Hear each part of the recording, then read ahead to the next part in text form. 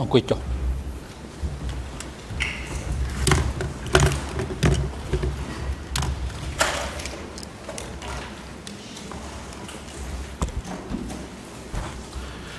អង្គជំនុំជម្រះប្រកាសបន្តកិច្ចដំណើរការនីតិវិធីសកម្មភាពសកម្មភាពនៅថ្ងៃនេះអង្គជំរះធ្វើសកម្មភាពស្ដាប់សក្ខីកម្មស័ក្តិសិទ្ធិដែលមានសញ្ញាម PTCW 873ហើយនឹង អាចមានស័ក្តិសិទ្ធិបំរុង PTCW 252កលាមជីសមនកាលោកស្រីកញ្ញាជាស៊ីហងឡើងរាយការណ៍ពីស្ថានភាពវត្តមានអវត្តមានភាគីនឹកបុគ្គលដែលអង្គជំរះក៏អញ្ជើញឲ្យចូលរួមនៅក្នុងកិច្ចដំណើរការសមនកាថ្ងៃនេះ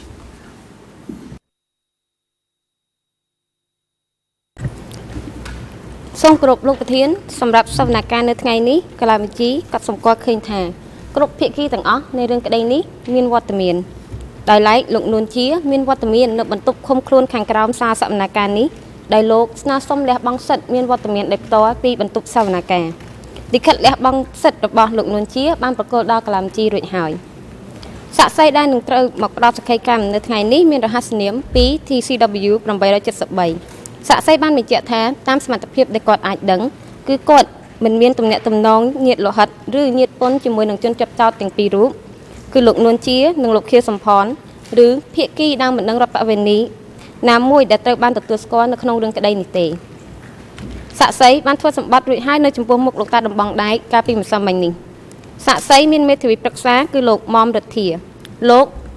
សាក់សីនិងមេធាវីប្រឹក្សាមានវត្តមាននៅបន្ទប់រងចាំរងចាំការកោះហៅពីអង្គជំនុំជម្រះហើយនៅថ្ងៃនេះមានដើមបណ្ដឹងបំរុងមួយរូបដែលមានរហស្សនាម 2TCCP 252 សូមអរគុណលោកប្រធានបាទអរគុណកញ្ញាជាទីហងបាទជាដំបូងនេះអង្គជំរះសម្រាប់លើសំណើសុំរបស់ជនជាប់ចោតនួនជាជាមុនសិនអង្គជំរះបានទទួលលិខិតសម្រាប់បងសិទ្ធចូលរួមសកម្មភាពដោយផ្ទាល់ក្នុងបន្ទប់សកម្មភាពនេះរបស់ជនជាប់ចោតនួនជាចុះថ្ងៃ16ខែកញ្ញាឆ្នាំ2015ដែលបានបញ្ជាក់ថាដែលគាត់មានបញ្ហាសុខភាពជាក្បាលជាចង្កេះមិនអាចអង្គុយយូរបានមិនអាចផ្ចង់អារម្មណ៍បានយូរនិងដើម្បីមានលទ្ធភាពចូលរួមសកម្មភាពនៅថ្ងៃខាងមុខឲ្យមានប្រសិទ្ធភាព ខ្លួនធំលះបង់សិទ្ធចូលរួមនឹងមានវត្តមានដែលផ្ទាល់ក្នុងបន្ទប់សកម្មភាពនៅថ្ងៃទី16ខែកញ្ញាឆ្នាំ2015បានឃើញកំណត់ហេតុវិនិច្ឆ័យសុខភាពជនជាប់ចោតនួនជាដែលធ្វើឡើងដោយគ្រូពេទ្យប្រចាំការពិនិត្យព្យាបាលថែទាំសុខភាពជនជាប់ចោតនៅអវតកចុះថ្ងៃទី16ខែកញ្ញាឆ្នាំ2015បានកត់សម្គាល់ស្ថានភាពសុខភាពរបស់ជនជាប់ចោតនួនជា នៅថ្ងៃនេះមានអាការៈឈឺចង្កេះហើយកាន់តែឈឺ ខ្លាំងនៅពេលអង្គុយយូរនិងបានផ្ដល់អនុសាសន៍ថាសូមឲ្យជំរះអនុញ្ញាតឲ្យលោកនួនជាចូលរួមតាមដានកិច្ចដំណើរការសម្ដែងការពីបន្ទប់ខាងក្រោមសាលសមការនេះផ្អែកលើមូលដ្ឋាននេះនឹងយោងតាមបទបញ្ញត្តិនៃវិធាន815នៃវិធានប្រទេសក្នុងអវតកអង្គជំរះអនុញ្ញាតឲ្យជនជាប់ចោតនួនជាចូលរួមនឹងតាមដានកិច្ចដំណើរការសមការពីចម្ងាយពីបន្ទប់ឃុំខ្លួនមួយស្ថិតនៅក្រោមសារសមការនេះតាមរយៈឧបករណ៍សោះទោះសម្រាប់រយៈពេលសមការពេញមួយថ្ងៃនេះ ប្រកបឲ្យបុគ្គលិកផ្នែកសោះទោះភ្ជាប់ប្រព័ន្ធសោះទោះសម្រាប់ជនជាប់ចោតនួនជាអាចចូលរួមនឹងតាមដានកិច្ចដំណើរការសមការពីចម្ងាយតាមរយៈប្រព័ន្ធសោះទោះសម្រាប់រយៈពេលនៃកិច្ចដំណើរការសមការសម្រាប់ថ្ងៃនេះ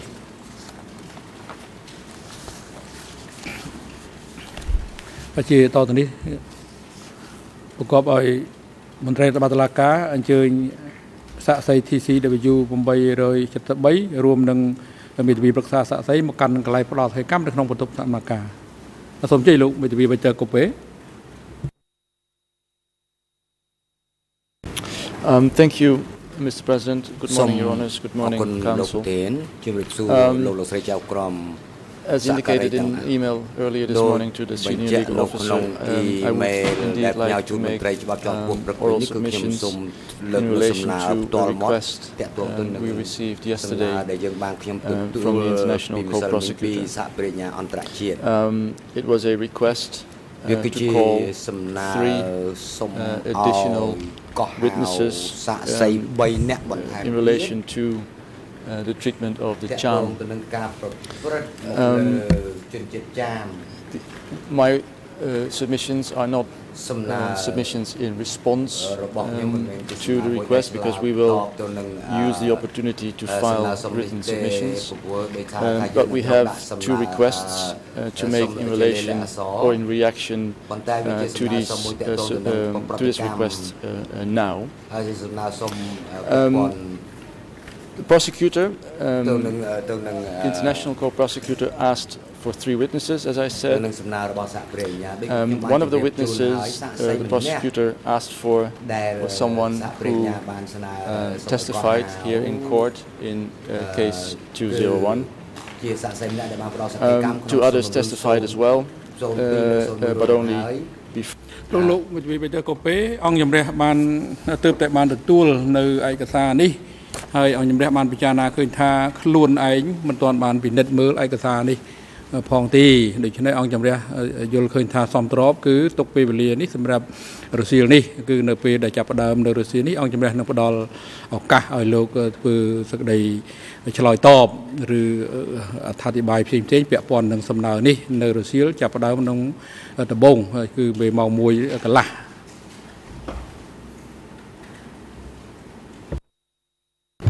Uh, fair enough, no problem. Um, but um, although the request for relief that um, we intend to um, ask is uh, to uh, stop the present proceedings and give us uh, additional time. However, I don't see a problem uh, in having this witness testify in the morning, and then um, we can address the issue after lunch. ពេលពិសាបាយថ្ងៃត្រង់ហើយ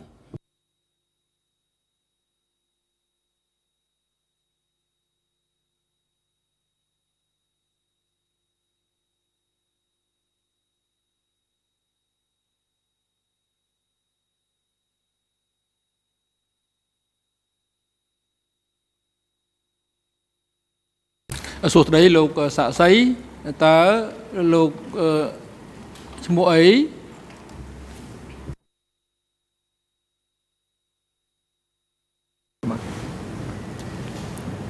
ឆ្លើយខ្ញុំបាទឈ្មោះតាយកំហួន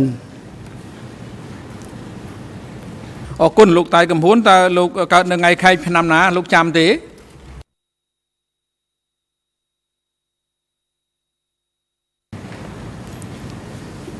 ខ្ញុំកើតនៅឆ្នាំ1950គុតអរគុណទីកន្លែងកំណើតរបស់លោកនៅកន្លែងណា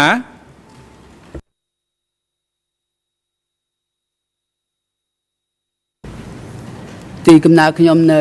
ស្រុកកំណើតខ្ញុំកើតនៅភូមិអង្គរបានទី2ទួងសហៅហៅទួងស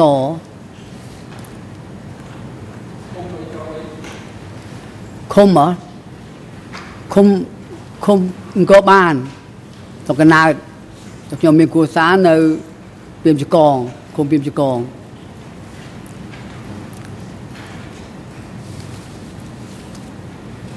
ចុះទីល្មើសពថ្ងៃតើលោករស់នៅទីកន្លែងណាកុំអានតឆ្លើយចាំចាំបានប្រកបប្រតិបត្តិការសិនណាពីអឺស្រុកកំណើតសប្ថ្ងៃនៅភូមិសបូមាសកឃុំពីមយកងស្រកោមាសខាងពុងចាមលោកប្រកបមករបរអី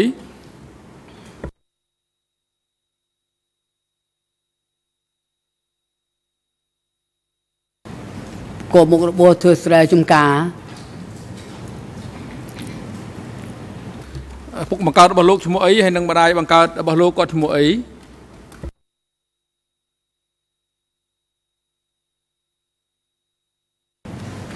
ពុកឪពុកខ្ញុំឈ្មោះ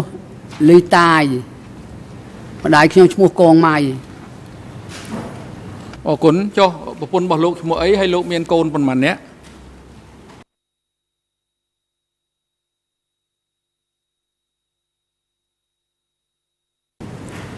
ប្រពន្ធខ្ញុំឈ្មោះយីមគឹមស្រៀងមានកូនមួយពីរមកប៉ុន្តែជំនាន់ពលពតហ្នឹងស្លាប់មួយលោកតៃកំហួនតាមរបាយការណ៍របស់កលាមជីសមនការមិញមិញនេះថាតាមសមត្ថភាពដែលលោកអាចដឹងគឺថាលោកមិនមានជាប់ញាតលោហិតឬញាតពុនជាមួយនឹងជនជាប់ចោតទាំងពីររូបនួនជានិងខឿសំផន និងបកគលទាំងឡាយត្រូវបានទទួលយកជាដើមបណ្ដឹងរដ្ឋប្រនីនៅក្នុងសំណុំរឿងក្តីនេះទេតើពិតមែនដែរទេ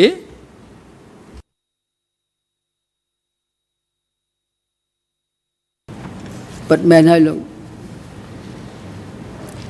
ហើយបាយការណ៍ថាលោកបានស្បត់រួចហើយនៅចំពោះមុខអ្នកតាដបងដែកដែលនៅខាងកើតសាលសមនាការនេះកាលពីម្សិលមិញតើពិតមែនដែរទេ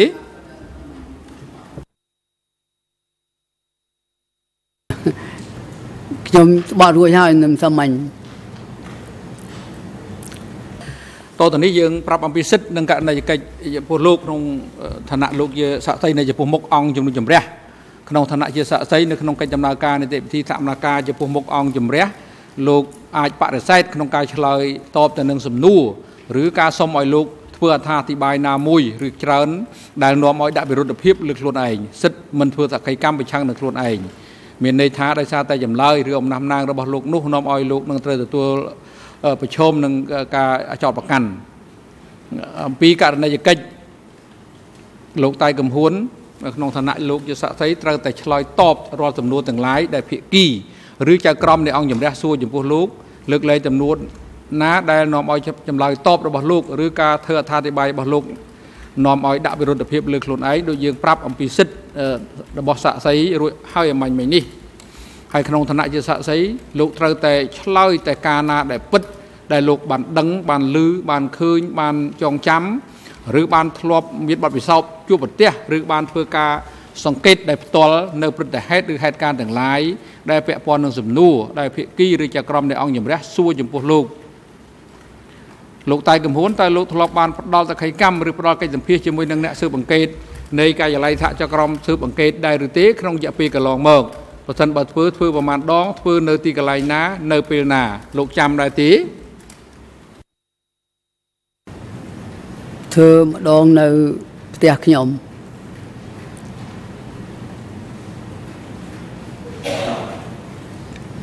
នៅពេលណាលោកចាំទេ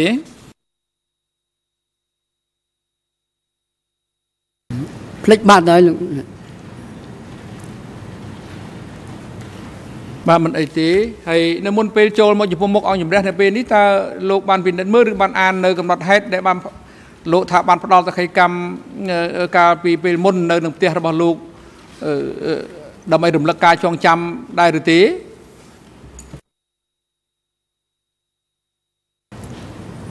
អឺខ្ញុំភ្នែកយើងអន់ឲ្យឲ្យបងគាត់អានឲ្យស្ដាប់ឲ្យស្ដាប់ណាប៉ុន្តែឲ្យវាមិនដូចអានខ្លួនឯងទេព្រោះណាគេអានឲ្យស្ដាប់យើងវាភ្លេចច្រើនយ៉ាងដែរប៉ុន្តែអាចខ្ញុំអាចឆ្លើយបានមើលថាជំនួសអីនេះខ្ញុំអាចឆ្លើយបានតាមសមត្ថភាពដែលលោកអាចដឹងនឹងចាំថាតើលោកអាចបញ្ជាក់បានដែរទេថាកំណត់ហេតុដែលលោកផ្ដល់ចម្លើយ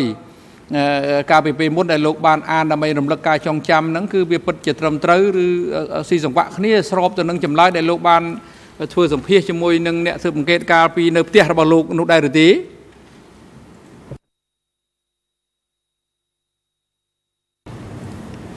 វាប្រហាក់ប្រហែលគ្នាបាទ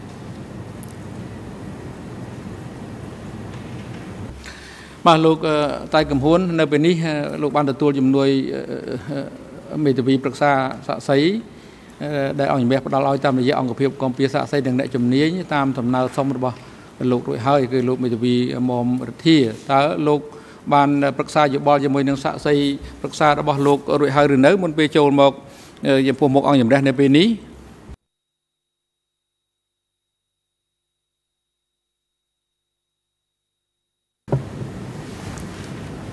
សូមគោរព លោកប្រធានសូមគោរពអង្គសាវនការទាំងមូលខ្ញុំបាទជាមេធាវីប្រឹក្សាយោបល់ឲ្យសាក់សីបានប្រឹក្សាយោបល់ជាមួយសាក់សីតាំងពីម្សិលល្ងាចម្សិលមិញនិងព្រឹកមិញនេះរួចហើយសូមជ្រាបលោកប្រធានសូមអរអញ្ចឹងមែនទេលោកតាយកំហួនដោយមេធាវីថាអញ្ចឹងទេបាទដោយលោក មេធាវីថាអញ្ចឹងបាទក្នុងការសួរដេញដោលចំពោះសាក់សីរំនេះអនុវត្តតាមវិធាន91ស្ទួននៃវិធានផ្ទៃក្នុងអង្គជំរះផ្ដល់វិធានការជូនទៅថាប្រញ្ញាតាំងធ្នួននេះដល់ចំពោះសាក់សីរូបនេះមុនភាគីដតេទៀតនៅរឿងក្តីសហប្រញ្ញារួមទាំងសហមិត្តវិនៅមុខតំណាងដើមម្ដងរំនេះមានរយៈពេលកន្លះថ្ងៃគឺថាពីរវគ្គនៃថ្ងៃសមនការក្នុងការសួរសាក់សីរូបនេះសូមអញ្ជើញ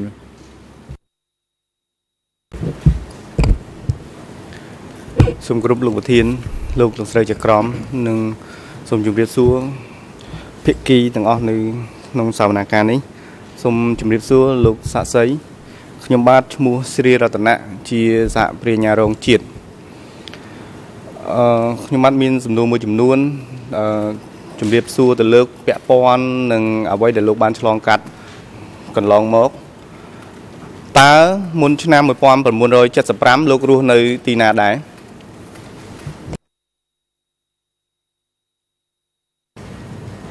បាទនៅឆ្នាំ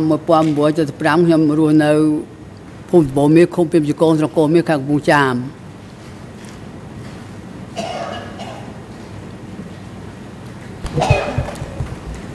ចុះក្រោយមកបន្ទាប់ពីឆ្នាំ75អឺ នោះលោកបន្តរស់នៅកន្លែងនឹងលោកបន្តរស់នៅកន្លែងនឹងរហូតឬក៏លោកត្រូវបានផ្លាស់ទីលំនៅទៅកន្លែងណា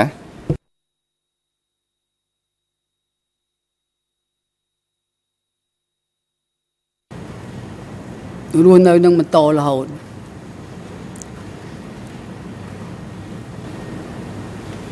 ចឹងបានន័យថា លោកអត់មានធ្លាប់បដូរទីលំនៅសោះតាំងពីពេលដែលលោកកើតរហូត តាំងពីមុនឆ្នាំ75រហូតដល់ក្រោយឆ្នាំ75បន្តមកទៀតខ្ញុំខ្ញុំសួរលោកពីសំណួរសំណួរទី1គឺមុនឆ្នាំ1975សំណួរទី2គឺក្រោយឆ្នាំ1975តើមានការផ្លាស់ប្ដូរទីលំនៅទេនៅកាលនោះ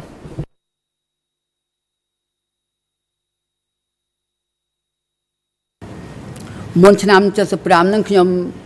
នៅអីភូមិអង្គរបានទី2អត់ទាន់មានគ្រួសារទេ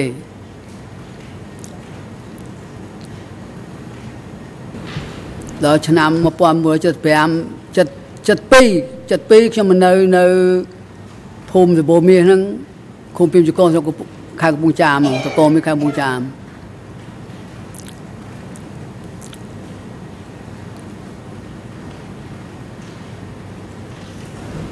ចាប់ពីឆ្នាំ72មករហូតដល់បច្ចុប្បន្នលោករស់នៅសម្បូរមាននឹងរហូត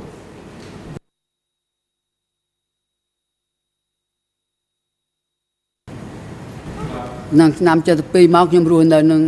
ភូមិនឹងរហូតភូមិសបូមានហ្នឹងណា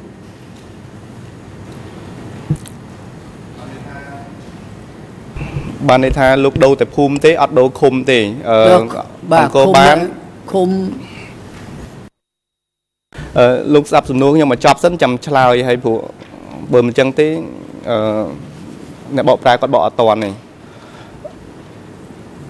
ទាំងភូមិសម្បូរមាសទាំងភូមិអង្គរបានសុទ្ធតែស្ថិតនៅក្នុងឃុំកងមាសដូចគ្នាស្ថិតក្នុងស្រុកកងមាសដូចគ្នា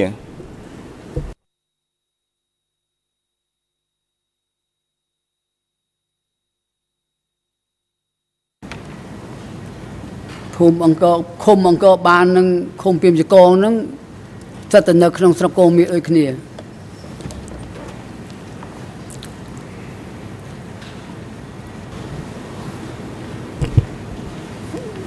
ើអឺដោយសារលោករស់នៅក្នុងស្រុកកងមាសនោះតើលោកស្គាល់វត្តអូត្រកួនទេ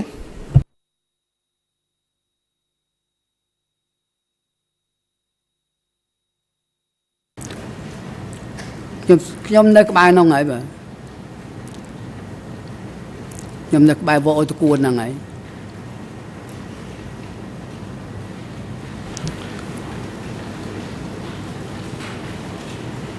វត្តហ្នឹងស្ថិតនៅក្នុងភូមិអី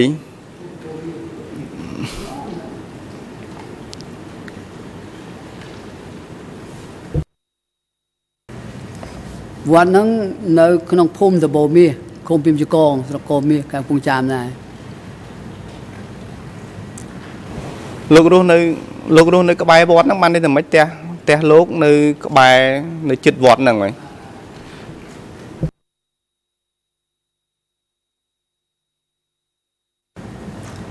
ផ្ទះខ្ញុំនៅក្បែរនឹងប្រហែលជា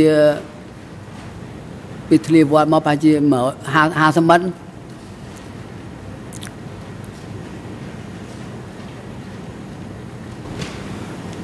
តើក្នុងអំឡុងរបបកម្ពុជាប្រជាធិបតេយ្យវត្តនឹងត្រូវបានគេប្រើប្រាស់ជាអ្វីដែរ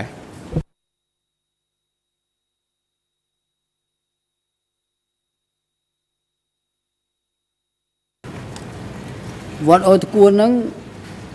កាលសម័យនោះគេធ្វើជាគុក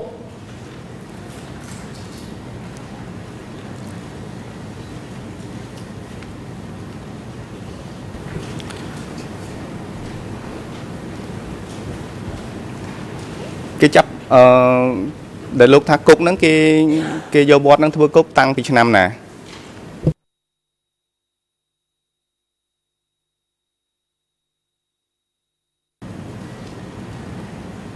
ខ្ញុំដូចជាភ្លេចហើយបង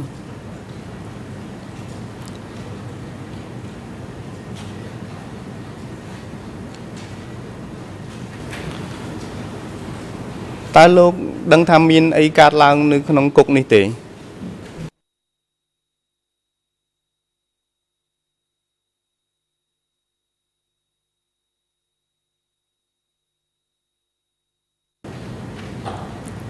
នៅក្នុងវត្តនោះ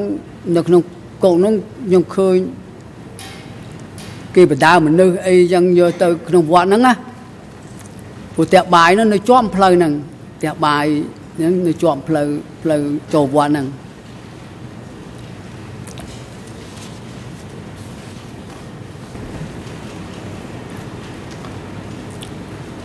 លោកឃើញគេបដើមនុស្សចូលហ្នឹងញឹកញាប់ទេ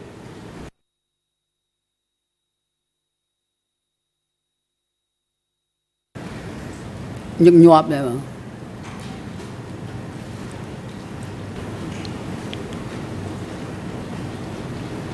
បើញឹកញាប់អញ្ចឹងក្នុងមួយសប្តាហ៍ប្រហែលដង ក្នុងមួយខែប្រហែលដង ឬក៏តាមដែលលោកឃើញប្រហែលដងក្នុងមួយថ្ងៃ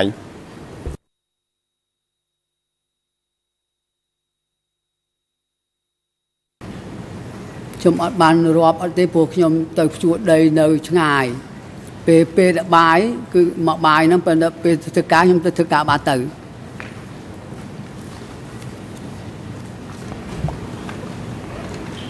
ប៉ុន្តែតាមដែលលោកឃើញឃើញប្រហែលដង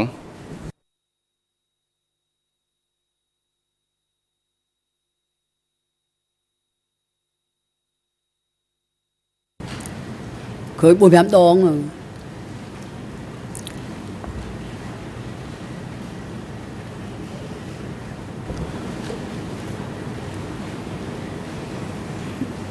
ពេលលោកបាយ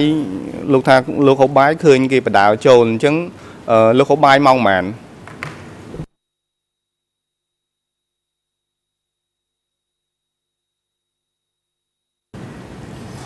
ម៉ោង11កន្លះ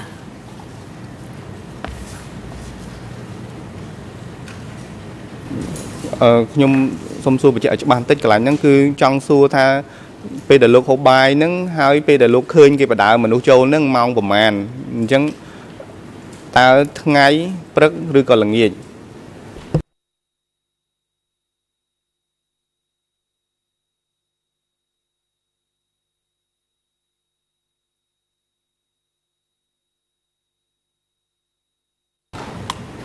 នៅម៉ោង11កន្លះហ្នឹង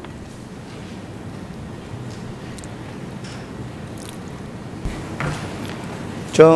ចំនួនមនុស្សដែលគេបដើចូលហ្នឹងមាន ចំនួនប្រមាណដែរម្ដងម្ដង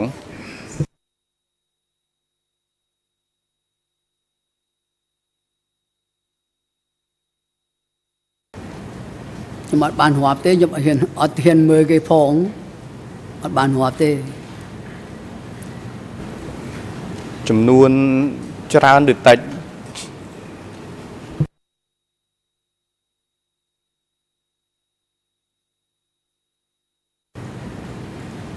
ចំនួនជួនកាលឃើញ2នាក់ទៅជួនកាលឃើញ1នាក់ទៅ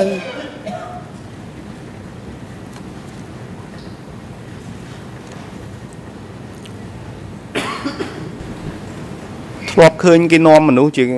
ជាក្រុមទេ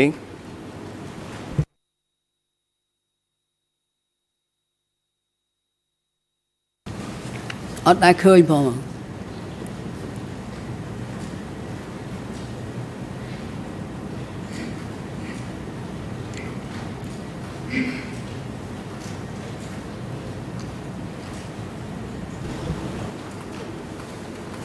ចុះពេលគេនាំមកហ្នឹងគេអឺឃើញគេដឹកអីឃើញគេបដើគាត់មកឃើញគេដឹករទេះគោមកឬក៏ដោយមធ្យោបាយអ្វីផ្សេងទៀត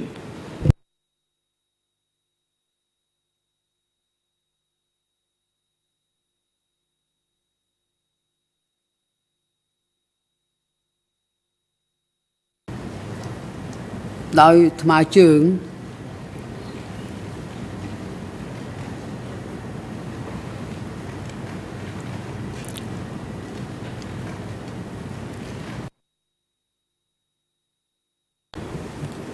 ជួយលោកធ្លាប់ឃើញគេ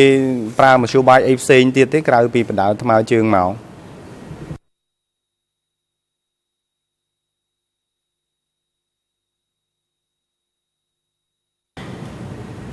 អត់ដែរឃើញហ្មង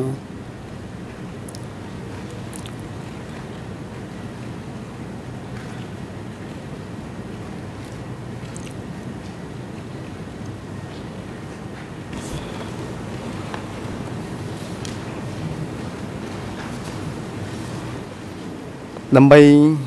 រំលឹកការចងចងចាំរបស់លោកហើយដោយសារលោកឆ្លើយទីនេះថាអត់មានដោយមធ្យោបាយផ្សេងតែកន្លងមកលោកធ្លាប់ឆ្លើយនៅចំពោះមុខអ្នកស៊ើបអង្កេតនៃការិយាល័យសហចក្រមស៊ើបអង្កេតគឺនៅក្នុងឯកសារ E3 52 លើ52 57ដែលមាន EN ជាភាសាខ្មែរ00 24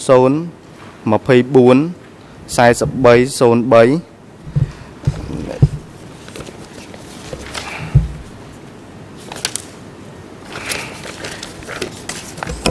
EN ជាភាសាបារាំង0 00 34 26 66 EN ជាភាសាអង់គ្លេ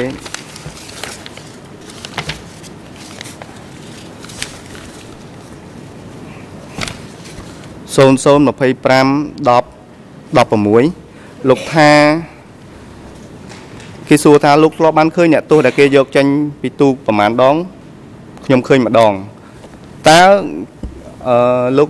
ពិតជាធ្លាប់បានឃើញគេយកអ្នកទោសចេញពីទូកមែនទេ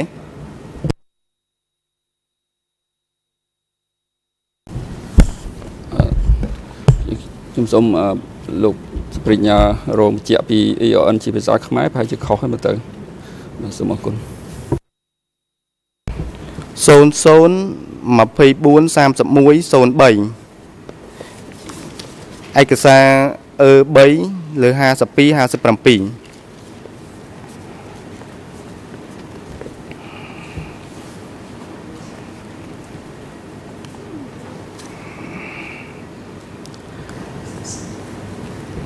ខ្ញុំអត់បានឃើញគេដាក់តាមទូកផង បានតែខ្ញុំមិនឃើញពួកខ្ញុំនៅតែជួដីនៅក្នុងព្រៃនោះទេ បានបានថាអត់ឃើញបាទចុះចំពោះអ្នកដែលលោកធ្លាប់ឃើញបដើដែលដែលគេបដើចូលវត្តហ្នឹងលោកឃើញពួកគេមានជាប់ចំណងទេ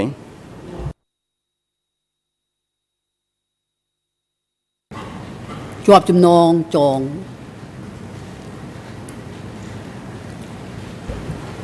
តើពួកគេទាំងនោះជាមនុស្សស្រីមនុស្សប្រុសឬក៏ជាកូនក្មេងមានកូនក្មេងទេមានកូនក្មេងមនុស្សចាស់ក៏មានកូនក្មេងក៏មាន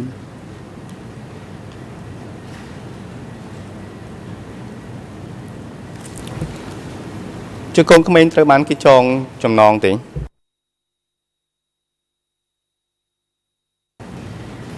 កូនក្មេងគេអត់ចងទេគេដើរតាមម៉ែឪគេហ្នឹងអត់ចងទេ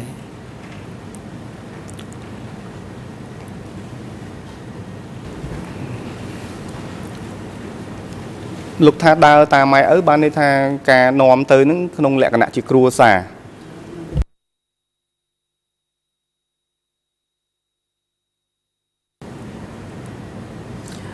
ដឹងជា ម៉ែឪគេឬមិនមែនទេខ្ញុំក៏មិនបានដឹងដែរប៉ុន្តែក្មេងហ្នឹងគេអត់អត់ចងក្មេងតូចតូចប្រហែលជាអាយុ3ឆ្នាំ4ឆ្នាំប៉ុណ្ណឹង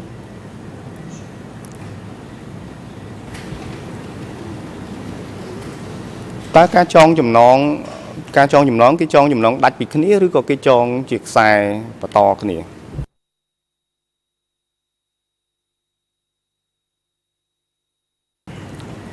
គេចងដាច់ពីគ្នា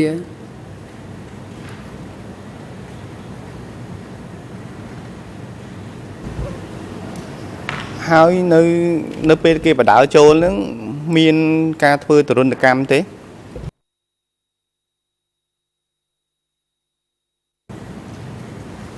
គេបដាចូលអត់មានធ្វើទរណកម្មអីទេបាទ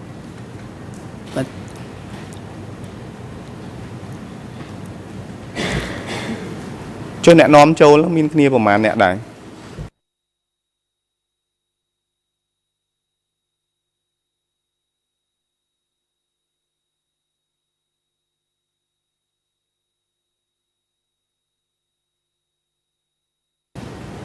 អ្នកដើមចូលមានតែ2នាក់ទេ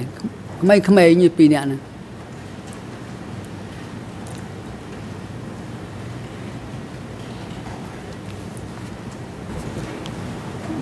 តើលោកអាចសម្គាល់បានទេថាអ្នកដែលត្រូវបានគេចាប់ចងទាំងនោះនឹង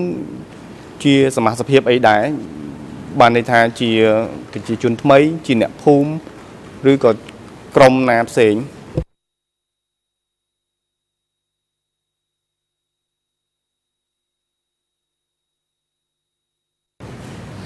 អត់បានដឹងទេអត់បានដឹងថាជាជួនថ្មីឬស្អីស្អីអត់ដឹង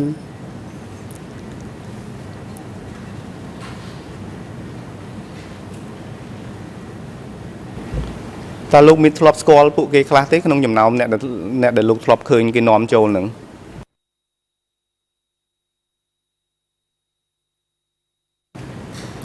ខ្ញុំអត់ដែលឃើញគេទេអត់ដែលឃើញដែលគេចាប់ហ្នឹងមនុស្សដែលគេចាប់ហ្នឹងខ្ញុំមិនដែលឃើញទេលោកថាអត់ដែលឃើញចង់មានតែមិនអត់ឃើញមុខស្គាល់អត់អត់ស្គាល់គេ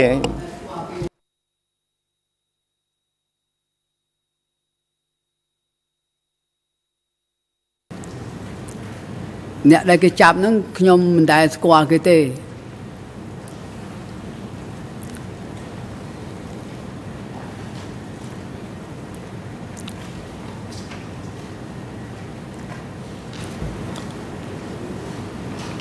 ចុះលោកធ្លាប់អឺ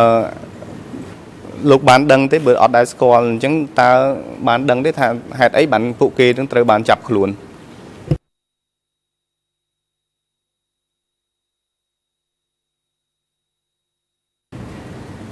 អត់ដឹងរឿងអីផងហ្មងអត់ដឹង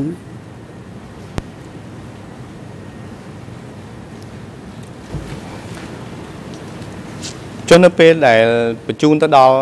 ជូនទៅដល់វត្តមានអ្នកនៅចាំទទួលទេ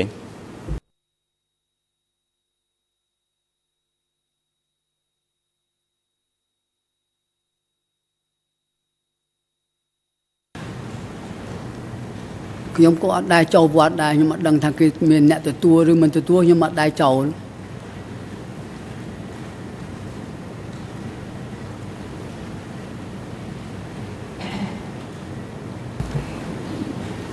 ដោយសារលោកបញ្ជាក់ពីខាងដើមថាផ្ទះលោកនៅប្រហែលជា50ម៉ែត្រពីវត្តទេតើលោកធ្លាប់ឮសូរសលេងមីក្រូដែលគេចាក់ចេញពីវត្តទេ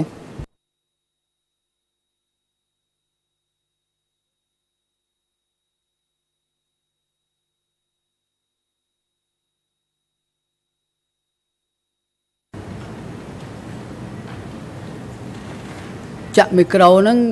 អឺខ្ញុំទៅធ្វើការនៅផ្ទះអត់លឺទេព្រោះមីក្រូហ្នឹងនឹងគេដាក់យ៉ាងម៉េចទេព្រោះដែលខ្ញុំទៅធ្វើការយប់ម៉ោងពីម៉ោង6ទល់ដល់ម៉ោង10ម៉ោង10យប់ទៅទុងស្រូវទៅដបតណាបអីចឹងទៅតង្វងតង្វងអញ្ចឹង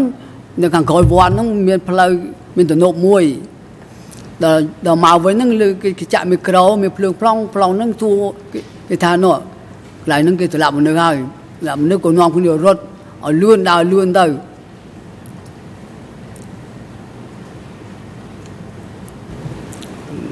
លោកអឺ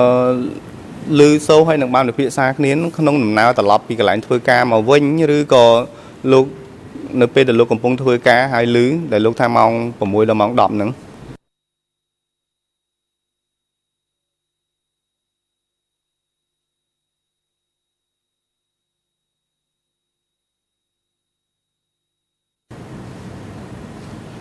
ខ្ញុំមកធ្វើការវិញម៉ោង9ម៉ោង10ហ្នឹង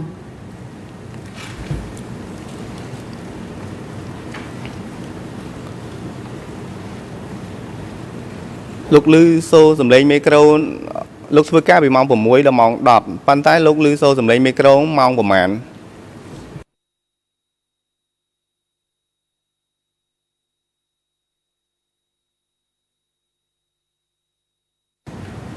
ខ្ញុំលើស្នូមីក្រូហ្នឹងពេលដែលខ្ញុំមកពីធ្វើការវិញម៉ោង10ហ្នឹង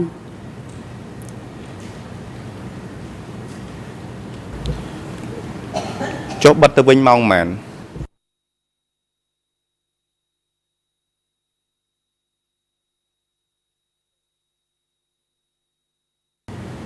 អត់ដឹងគេបិទម៉ោងប៉ុន្មានផងអត់ដឹងផង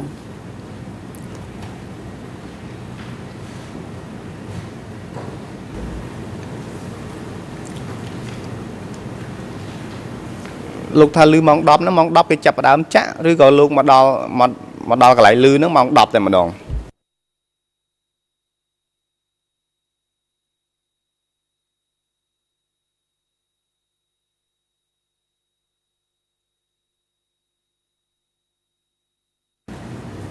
មកដល់ម៉ោង10ហ្នឹងលឺគេចាក់ត្មង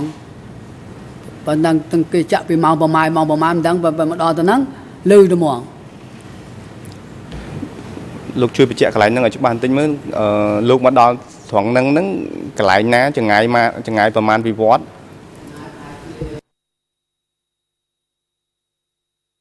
ខ្ញុំអត់ទាន់ឆ្លើយតបស័ក្តិសិទ្ធិស័ក្តិសិទ្ធិរងនឹកឆ្លើយតបមួយសំណួរផងហើយជាការបង្អង់ដើម្បីឲ្យក្បាលមីក្រូហ្វូនប្រតិបត្តិការផង យើងរំលឹកដូចច្រើនលើកហើយដូចជាមិន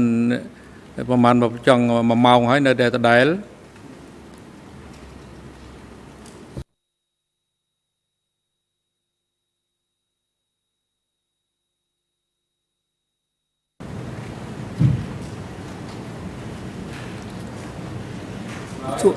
ស៊ូមដល់ទៀតខ្ញុំសួរថានៅពេលដែលលោកឮសំឡេងមីក្រូហ្នឹងលោកនៅចម្ងាយណា ពីវត្តហើយទីតាំងនៅ ខាងលិចខាងជើងខាងត្បូងពីមុខឬក្រោយក្រោយវត្ត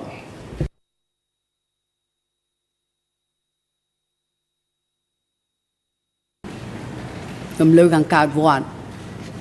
ខាងមុខវត្តណា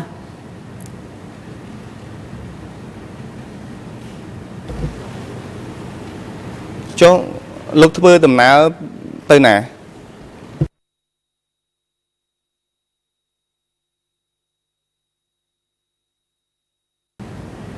ខ្ញុំធ្វើដំណើរទៅទៅដកស្ទូងទៅស្ទូងទៅដកដកស្ទូង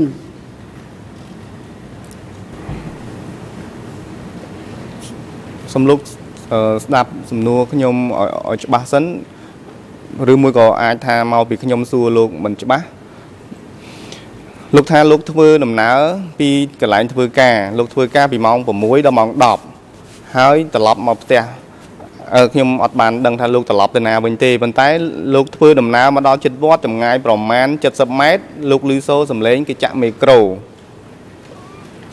ហើយខ្ញុំសួរលោកថាតើលោកចេញពីកន្លែងធ្វើការទៅណា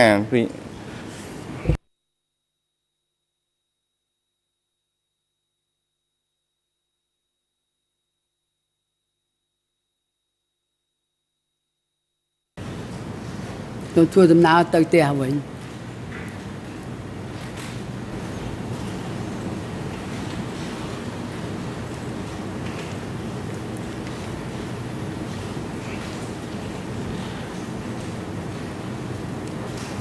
ចុះ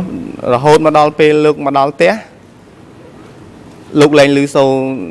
សំឡេងមីក្រូនឹងតទៅទៀត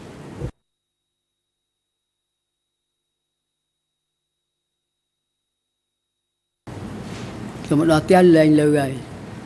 លែងលឺមីក្រូហ្នឹងហើយផ្ទះះលោកនៅខាងណាវត្ត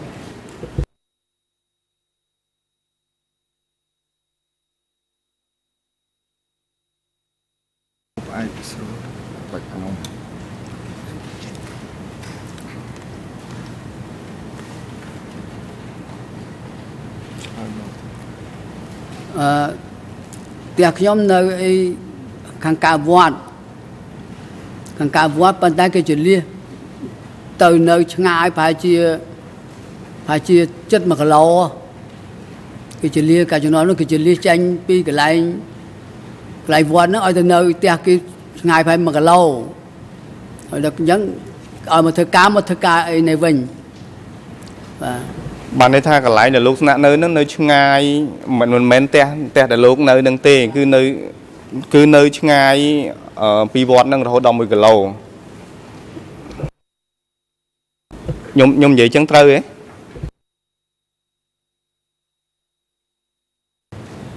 បាទនិយាយចឹងត្រូវហើយនៅពេលដែលលោកឮសូរសំឡេងនឹងអ្នកណាដែលនិយាយថាមានការស្លាប់មនុស្ស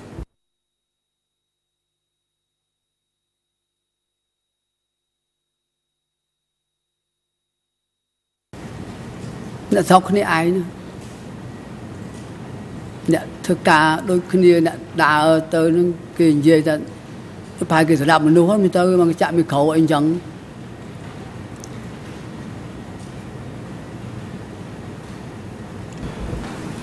ចុះលោកឮសូរសំឡេងសំឡេងនេះញឹកញាប់ទេស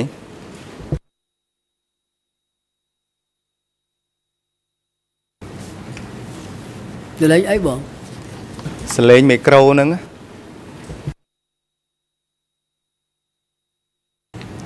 សលេងហ្នឹងតើខ្ញុំទៅធ្វើការបានលើ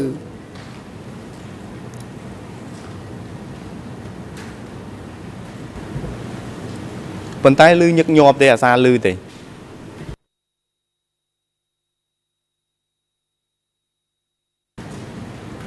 យូរយូរខ្ញុំទៅធ្វើការម្ដងបានលើ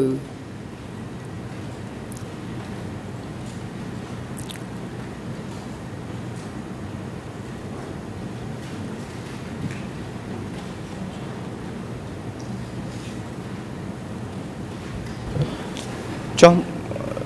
មុនមុនពេលដែលគេយកវត្តនេះធ្វើជាលោកថាគុកហ្នឹងធ្លាប់ឮសូរសលេងមីក្រូបែបហ្នឹងទេ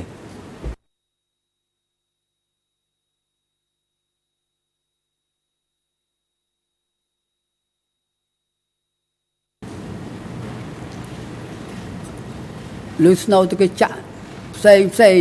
ថ្ងៃអីក៏គេចាក់ដែរបើនឹងគេចាក់អីគេខ្ញុំក៏មិនដឹងដែរណា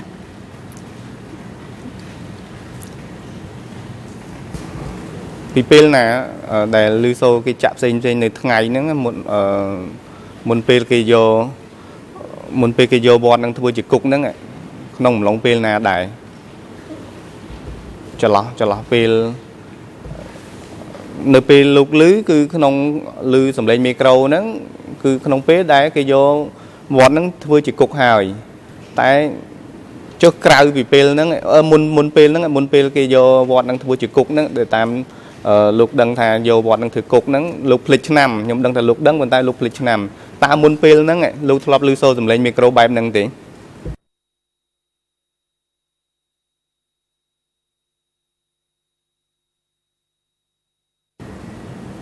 អត់ដែលឮសំឡេងបែបហ្នឹងទេមានតែភ្លេងពិនពៀតនិងស្មោតលោកលោកទេសលោកអីហ្នឹងមាន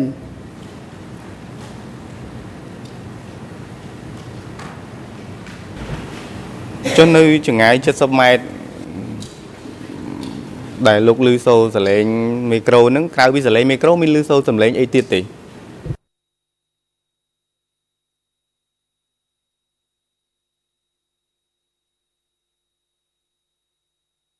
ខ្ញុំសំដៅសំឡេងដែលដែលលឺចេញពីក្នុងវត្តមក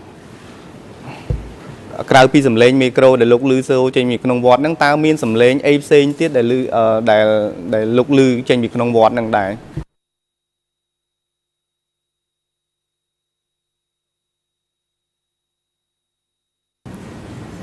អត់មានលឺសំឡេងអីលឺសំឡេងមីក្រូ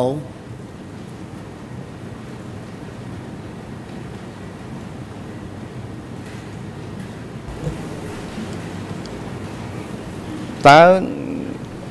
នៅពេលនៅរាល់ពេលដែលលោកឃើញ គេបដើមនុស្សចូលពេលថ្ងៃលោកបញ្ជាក់ប្រាប់ខ្ញុំមុនហ្នឹងថាពេលថ្ងៃម៉ោងបាយលោកបានដែលបានចំណាំទេថ្ងៃដែលមានគេនាំមនុស្សចូលលោកលឺសូរសលេងហ្នឹងលឺសូរសលេងគេចាក់មីក្រូនៅពេលយប់ធ្លាប់លឺទេ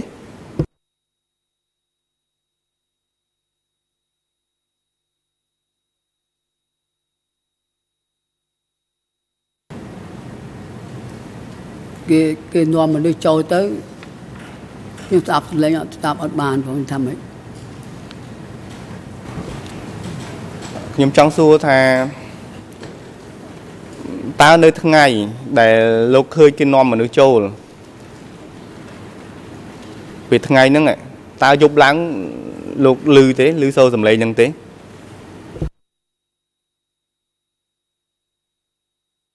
ឮទេព្រោះអឺ គេនាំចូលទៅនឹងគេយកទៅដាក់តាណាតណីខ្ញុំក៏មិនដឹងដែរប៉ុន្តែដល់ពេលខ្ញុំទៅធ្វើការហ្នឹងបានខ្ញុំលឺមិនមែនលឺដល់ពេលគេចាប់យកទៅហ្នឹងលឺមីកោត្មងទេប៉ុន្តែនៅថ្ងៃតែមួយនៅថ្ងៃតែមួយមែនទេ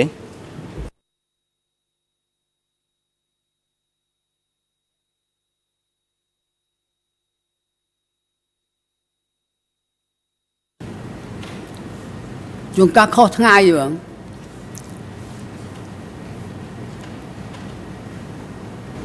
លោកថាជួនកាលអឺបើជួនកាលបានថាមានថ្ងៃខ្លះឮដូចគ្នាឥឡូវខ្ញុំខ្ញុំសួរអញ្ចេះវិញសួរថាថ្ងៃដែលលោកឮនៅយប់ដែលលោកឮគេចាក់មីក្រូម៉ោង10ហ្នឹងតើចំពេលចំចំពេលនៅពេលថ្ងៃហ្នឹង ខ្ញុំខ្ញុំសួរចេះជប់ខ្ញុំរៀបសំណួរខ្ញុំឡើងវិញអឺលោកតែងឮសូរសំឡេងគេចាក់មីក្រូនៅពេលដែលលោកធ្វើដំណើរត្រឡប់មកពីកន្លែងធ្វើការវិញ ក្នុងចម្ងាយប្រហែលជា70ម៉ែត្រអីលោកឮសូរសំឡេងនឹងហើយនៅពេលដែលលោកទៅធ្វើការចុះអឺលោកឮពេលយប់ចុះពេលថ្ងៃនេះលោកដែលឃើញដែលឃើញគេចាប់មនុស្សចូលទេ នៅយប់ដែលលោកលឺហ្នឹងពេលថ្ងៃដែលឃើញគេចាប់ដែលឃើញគេបដើមនុស្សចូលទេ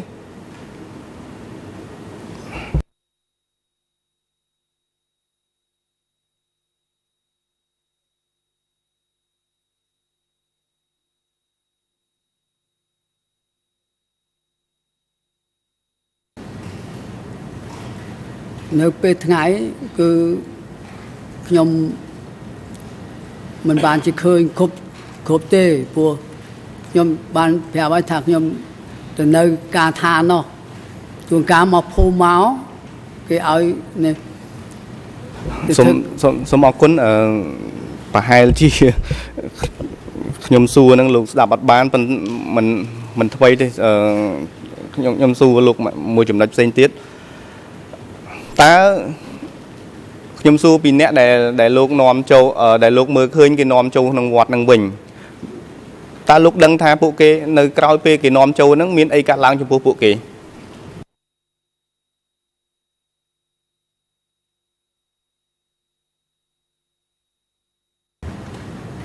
ខ្ញុំអត់ដឹងផងអត់ដឹងមានរឿងអីផង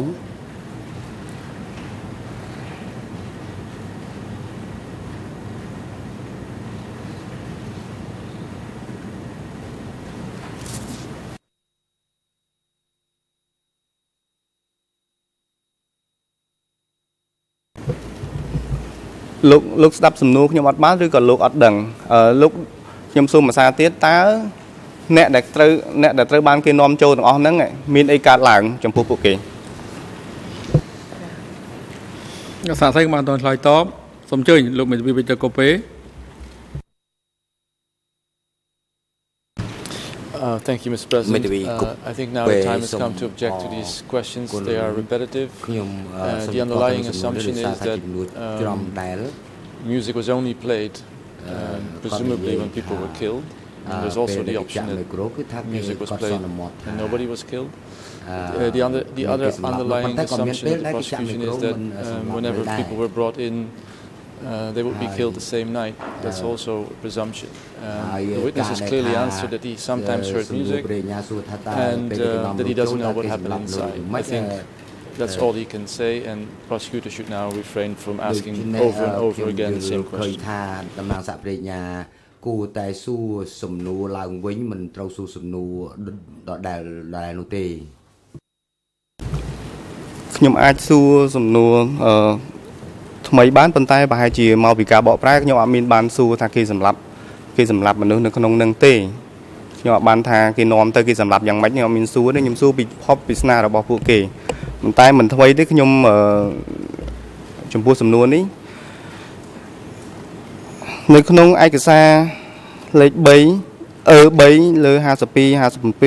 57 52 57 ដែលមាន EAN ជាភាសាខ្មែរលេខ00243107 EAN ជាភាសាអង់គ្លេស00251021ជាភាសាបារាំង0034 26 72កាលកាលនោះលោកបានឆ្លើយនៅចំពោះមុខអ្នកស៊ើបអង្កេតនៃការិយាល័យសហចក្រមស៊ើបសួរសហចក្រមស៊ើបអង្កេតលោកបានឆ្លើយថា គេសួរថាតើអ្នកទោសដែលយកទៅក្នុងវត្តគេធ្វើយ៉ាងម៉េចលោកឆ្លើយថាគេសម្រាប់ចោលនៅមុខវត្ត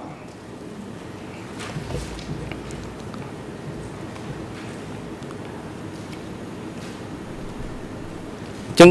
ខ្ញុំសួរបន្តទៅទៀតថាតើហេតុអ្វីបានជាលោកដឹងថាដូច្នេះ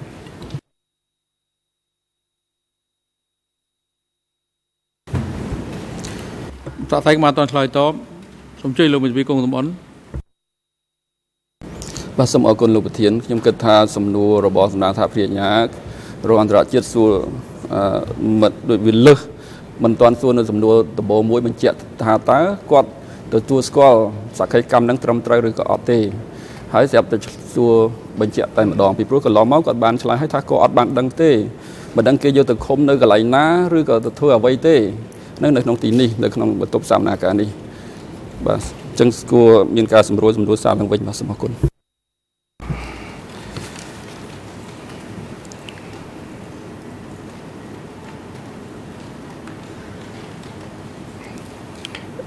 ខ្ញុំសូមសួរបញ្ជាក់កន្លែងនេះឡើងវិញ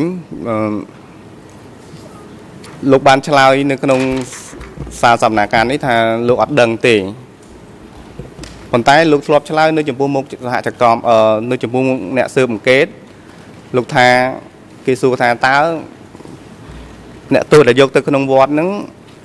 គេធ្វើយ៉ាងម៉េចលោកថាគេសម្លាប់ចោលនៅមុខវត្តអញ្ចឹងតើចម្លើយរបស់លោកមួយណាដែលដែលលោកចំណាំថាត្រឹមត្រូវលោកអត់ដឹងឬក៏គ្រាន់ឬឬលោកដឹងថាគេយកទៅសម្លាប់ចោលនៅមុខវត្ត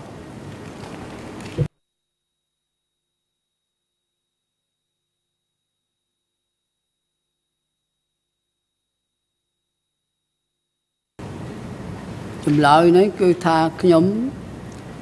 មិនអាចដឹងថាគេយកទៅសម្លាប់មុខវត្តទេប៉ុន្តែដល់ដាច់ទៅបានដឹងថាគេសម្លាប់នៅមុខវត្ត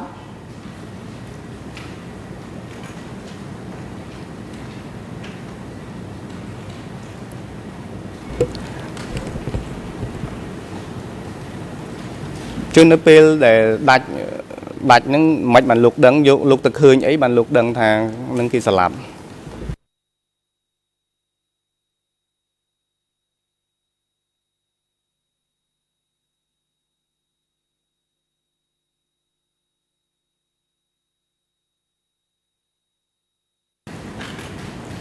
បានជាខ្ញុំដឹងថាគេយកទៅទម្លាក់មកវត្តព្រោះប្រជាជនផ្អើលទៅមើលទៅឃើញដៅក្នុងចុះដៅដៅហ្នឹងលោកឃើញទំហំប៉ុណ្ណាដែរ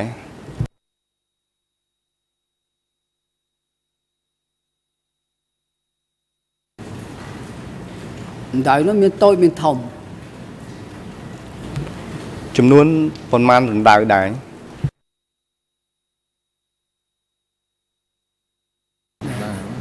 ដកដង្ហើមទៅវិញផង អត់បានរាប់ផង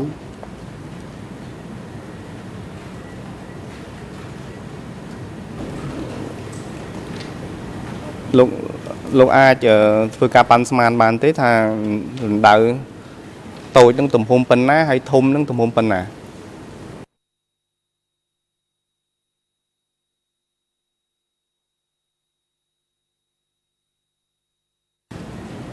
មិនអាចប៉ាន់ស្មានបានទេព្រោះ ដឹង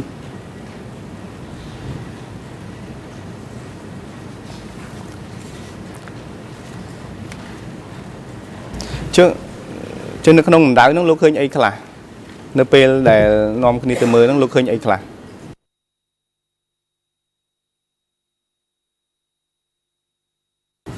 ខ្ញុំមិនបានចូលទេប៉ុន្តែ គេចូលទៅ គេ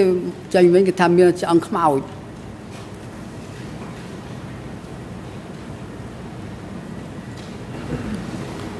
ចុះក្រៅពីឆ្អឹងមានអីផ្សេងទៀតទេមាន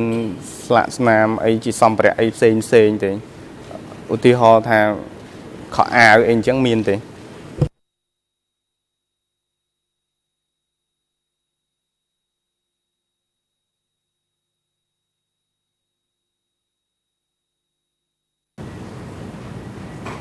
គេប្រាប់ថាមានមានខោអាវ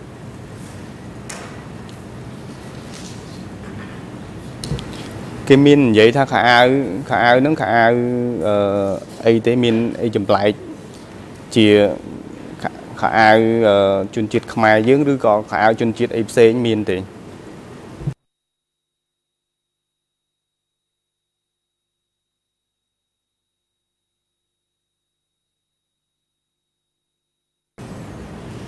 ខោអាវហ្នឹងខោអាវធម្មតា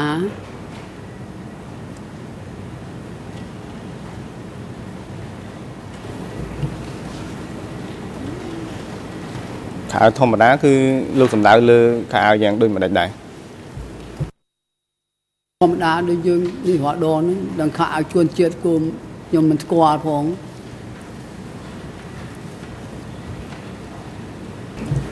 ខ្ញុំបានអស់សំណួរត្រឹមប៉ុណ្ណេះសូមការអនុញ្ញាតពីលោកប្រធានជូនវេទិកាទៅខាងសហប្រញ្ញារងអន្តរជាតិបាទសូមអញ្ជើញសហប្រញ្ញារងអន្តរជាតិ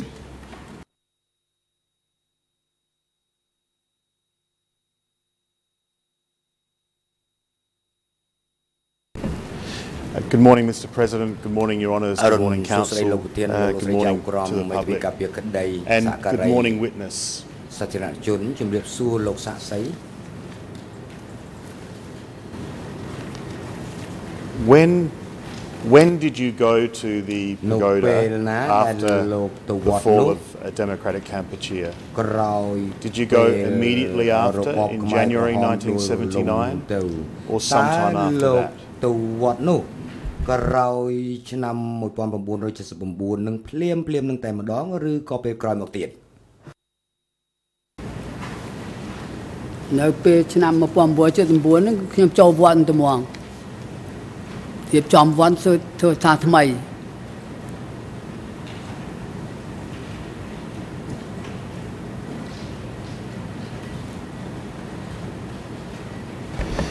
And is your evidence correct that you can't remember uh, how many pits there were and how many were small and how many were large? Is that your evidence? It's hard to remember the numbers of pits. ដោយសារថាវាពិបាកចងចាំតើលោកឆ្លើយថាអញ្ចឹងមែនឬក៏អត់ទេបាទខ្ញុំឆ្លើយយ៉ាងមែន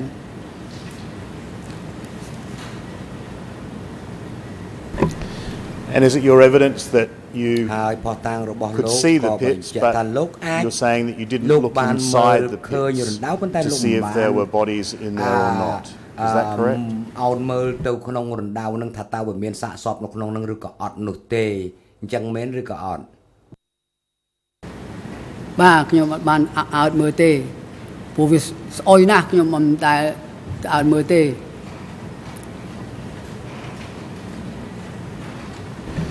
And what was the stench of? What was the smell? ស្អុយនេះក្លិននេះក្លិនអ្វីដែរក្លិនសាកសពហ្នឹងហើយ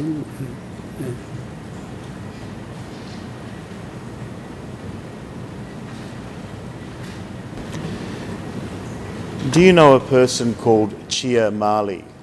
លោកស្គាល់មនុស្សម្នាក់ឈ្មោះ Chia Mali ដែរឬទេ ជាមលីមីខុំមកស្គាល់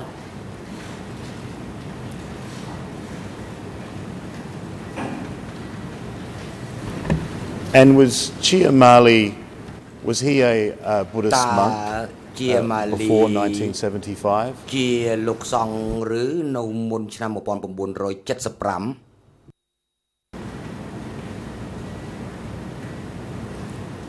គាត់ធ្វើលោកសង្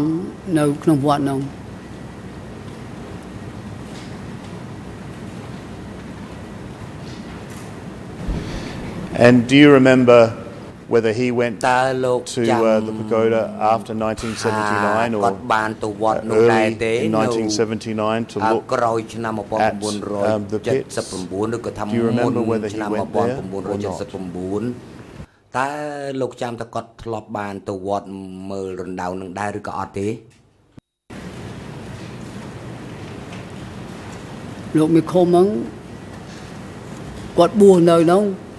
រហូតមកដល់ឆ្នាំ19ដល់ទៅគេផ្សឹកលោកនឹងឆ្នាំម៉ាខ្ញុំភ្លេចដែរគេផ្សឹកលោកទៅគាត់នៅ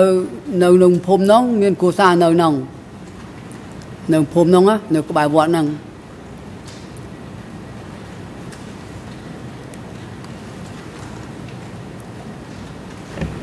Thank you for that. And do you សូម remember អរគុណ whether he went to look at លោ the ក pits ចាំទេថា as well? គាត់មានបានទៅមើលរណ្ដៅសាកសពនោះទេ អត់បានដឹងផងអត់បានដឹងថាគាត់ទៅមើលផងមកនៅឆ្ងាយពីគ្នាដែរ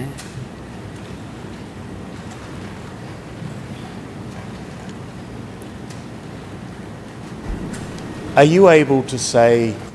when he was លោក disrobed as អា a ច monk? ឆ្លើយបានទេថា Um, like in, in អ่า 1974, គេផ្សឹកគាត់ 75, 76, or, ជប់ or អោ any យ other អា time? បួសជាលោក When សង្ was ឃ he ទៀតនៅពេលណា disrobed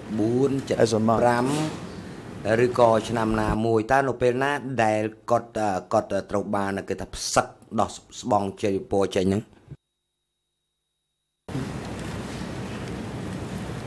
ខ្ញុំភ្លេចហើយលោក ដល់ឆ្នាំប្រហែលខ្ញុំភ្លេចហើយ Uh, you may not recall the year, but លោកប្រហែលជាមិនអាចចាំ was ឆ្ it នាមបាន in ទេប៉ុន្តែ the Democratic Kampuchea regime between នៅក្នុង 1975 and របបកម្ពុជា 1979? ប្រជាធិបតេយ្យពីឆ្នាំ Can you say 1975ទៅ that ដល់ or can you not? 79ឬក៏ពេលណា លោកអាចឆ្លើយបានឬក៏មិនបាន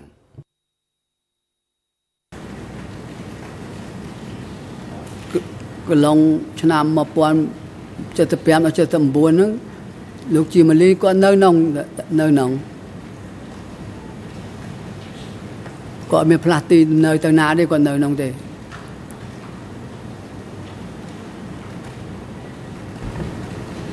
But when the um, when the what when the pagoda នៅ was ពេល turned ដែល into វត្ត a នោះ security ត្រូវ office បានយកទៅប្រើ Was he ប្រាស់ still ជា living ម there? ន្ទីរសន្តិសុខ or តើគាត់ when he when he disrobed did he have to leave អឺគាត់នៅបន្តស្នាក់នៅក្នុងវត្តនឹងដដែលឬក៏ថាក្រោយពេលគេផ្សឹកហើយគាត់ទៅទៅចាក់ចេញពីវត្តនៅពេលដែលគេគេផ្សឹកគាត់ចាក់ចេញពីវត្តនៅនៅនៅតាមគ្រួសាររបស់គាត់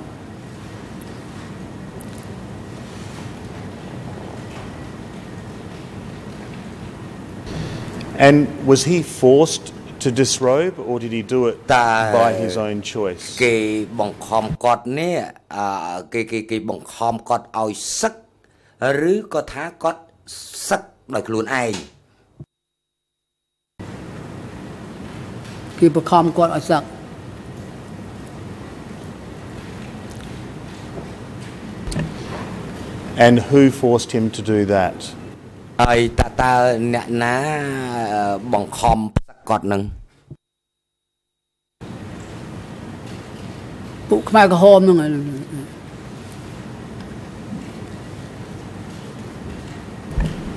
thank you I'd like to put a, um, a statement សូ that ម he អរគុណ made ខ្ញុំសូម about យ when ក he ចម្លើយ went រ to របស់គាត់ដែល the គាត់ what បានឆ្លើយថាគាត់បាន um, ទៅវ and ត្ត saw នោះ the pits ហើយគាត់បានឃើញ and រណ្ also ដៅ about សាកសព when he disrobed ហើយគាត់ថា If ផង I can ដែ put រ that statement to you គាត់ and, និយាយអំ and if ពី you កា can រនៅ tell ពេល me ដែលគេផ្សឹកគាត់ give ផង me your ដែរ reaction to it ហើយក្រោយពេលអានចម្លើយរបស់គាត់ខ្ញុំសួរមើលថាតើលោកយល់ថាម៉េចលោកមានប្រតិកម្មថាម៉េចចម្លើយគាត់នេះវាសុក្រឹតត្រឹមត្រូវដែរឬទេ to the what នៅពេលដែលលោកនេះក៏បានទៅវត្តនោះដែរនៅដើមឆ្នាំ1979 I'm referring to E3/7827 English 0021 0432សូមអធិស្ឋានលោកប្រធានលោកកម្លាំងសហប្រញ្ញាអាន0063លោកលោកស្វីតអានអត្តសញ្ញាណឯកសារឡើងវិញព្រោះអានញ័រវិញអ្នកបកប្រែបកមិនទាន់ទេ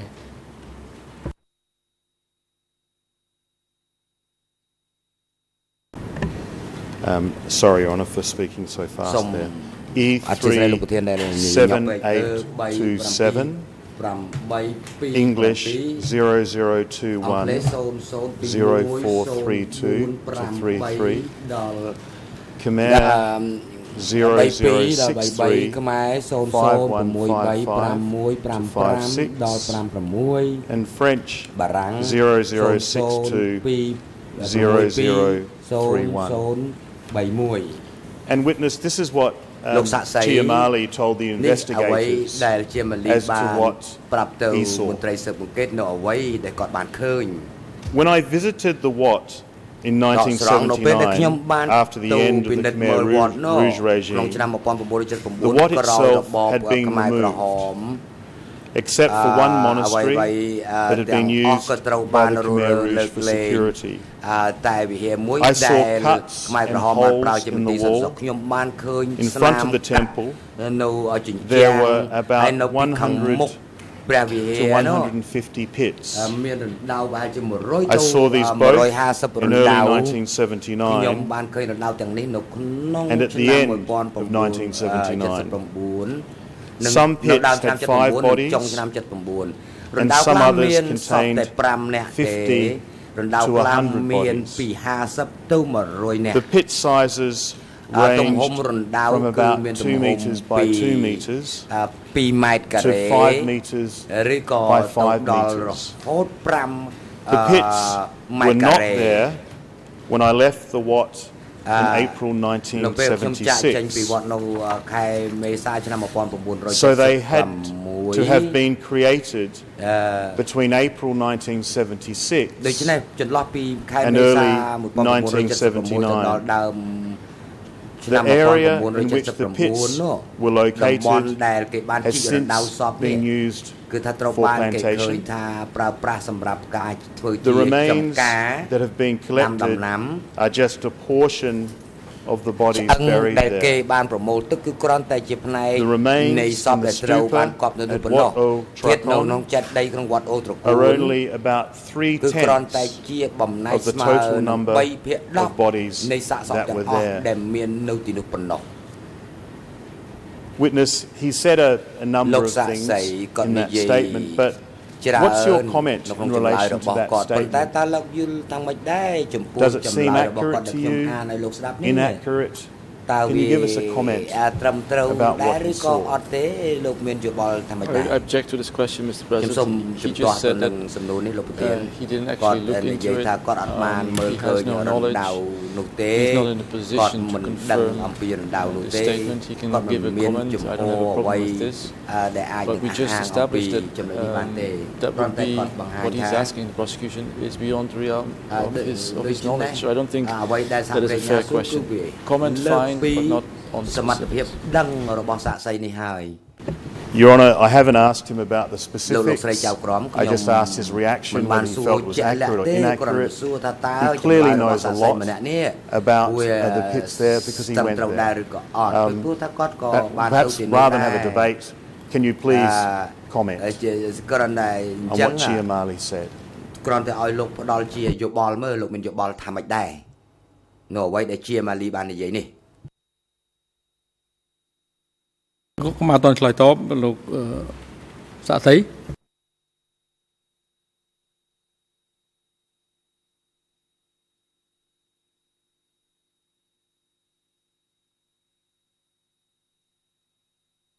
បាទអង្គជំរិតអង្គជំរះបដិសេធនៅត្រីយមទាស់របស់មេធាវីការពីក្តីលោកនុនជាហើយសំណួរនេះអាចសួរបានសាក់សីឆ្លើយតបទៅនឹងសំណួរដែលសួរឡើងដោយថាប្រញ្ញា រងអន្តរជាតិចុងក្រោយបាញ់មិញនេះ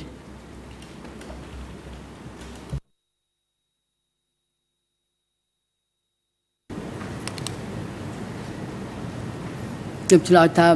លោកមេឃុំខ្ញុំក៏មិនបានទៅតាក់ទងអីរឿងដៅរឿងអីទាំងដែរខ្ញុំមិនបានទៅតាក់ទងជាមួយគាត់ទេដឹងជាដៅនឹងប្រមាណអីប្រមាណព្រោះគាត់ធ្លាប់ចូលខ្ញុំមិនដែរចូលខ្ញុំមិនអាចបានដឹងទេ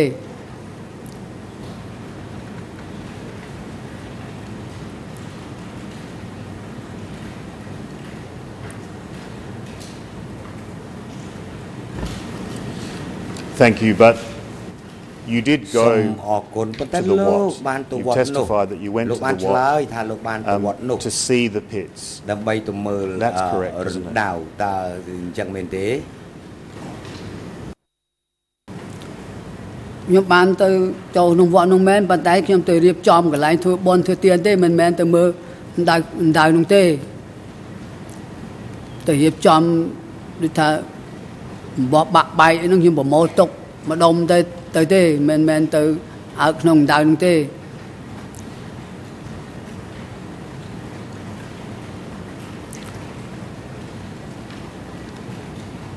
just one last question your honor សំណួរចុងក្រោយ witness you talked about the លោកប្រធាន stench of corpses អឺ human លោក bodies និយាយអំពី do you know សាកសីរូបរា where ង the អំពី bodies សាក were, ស were ព removed from លោកដឹងទេថា the what តើ from those pits សពទាំងអស់នោះត្រូវបានគេ Were យក there ចេញ any ពីរណ្ដៅ exhumations ទាំង of អស់ those នៅ bodies? ក្នុងវត្តនោះឬអត់តើគេមាន taking them out កោះ of អឺ the pits យកអឺសាកសីចេញពីរណ្ដៅនោះអឺដែរឬទេអឺកោះសាកសពចេញពីរណ្ដៅនោះដែរឬទេមានយកមកដាក់នៅកន្លែងដាក់ដាក់នៅកន្លែងមានសាកសពហ្នឹង ប្រមូលយកមកដាក់នៅកន្លែងមានសាកសពនៅមុខវត្តថ្ងៃហ្នឹងវាមានសាកសពខ្ញុំសុំពីឯកឧត្តមម៉ៅបរុននៅនឹងសម្ដេចនាយករដ្ឋមន្ត្រីនឹងសពថ្ងៃនេះ